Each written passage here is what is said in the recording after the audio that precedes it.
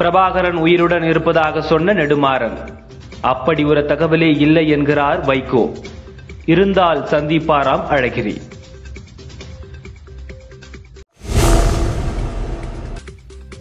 தொடங்கியது ஹஜ் பயண விண்ணப்பம். மார்ச் பத்து கடைசி நாள். ஈரோடு கிழக்கு இடைத்தேர்தல் இருபத்தி ஏழில் உள்ளூர் விடுமுறை. மோடி அதானிக்கு உள்ள தொடர்பை மக்கள் தெரிந்து கொள்ள வேண்டும். பார்லிமெண்ட் குறிப்பில் தமது உரை நீக்கப்பட்டதாக சுட்டிக்காட்டி ராகுல் பேச்சு. போலீஸ் ஸ்டேஷன் முன்பு விவசாயி தற்கொலை செய்த விவகாரம். முறையாக விசாரிக்காத இன்ஸ்பெக்டர் சஸ்பெண்ட். எட்டு மாவட்டங்களில் மணல் குவாரி திறக்க வேண்டும். லாரி ஓனர்கள் முதல்வரிடம் மனு.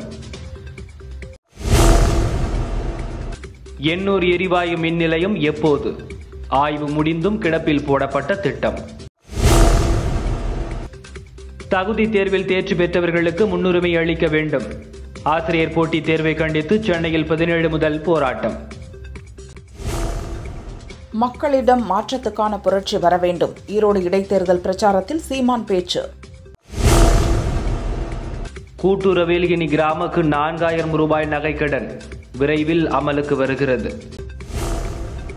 திருவண்ணாமலையில் நான்கு ஏடிஎம்களில் கொள்ளை நடந்த விவகாரம். ரோந்துபடியில் கோட்டை விட்டதாக நான்கு எஸ்ஐ இரண்டு ஏட்டு ஆயுதப்படைக்கு மாற்றம். கப்பல்கள் விமானங்களை புதுச்சேரியில் தயாரிக்க வேண்டும். புதுச்சேரி கவர்னர் தமிழிசை விருப்பம்.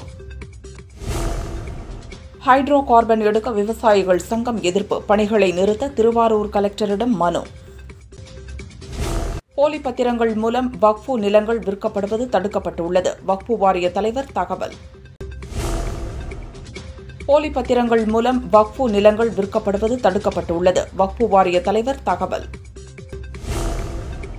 முரண்பாடானவர்களுக்கு கவர்னர் பதவி தருகிறது பாஜக. தமிழக காங்கிரஸ் தலைவர் அழகிரி விமர்சனம்.